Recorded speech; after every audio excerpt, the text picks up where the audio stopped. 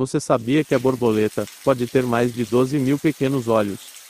Se você está perguntando como isso é possível, vem comigo que vou te explicar melhor. O corpo de uma borboleta é dividido em três partes: cabeça, tórax e abdômen. Se você olhasse para uma delas, falaria que teria dois olhos, correto? Mas aí que você se engana. Na verdade, elas possuem milhares de pequenos olhos, que podem enxergar até raios ultravioleta, que são invisíveis para nós seres humanos. Mas para que servem tantos olhos? Esses milhares de olhos podem dar uma visão em 360 graus para a borboleta, e pode ajudar na identificação do nectar e das flores.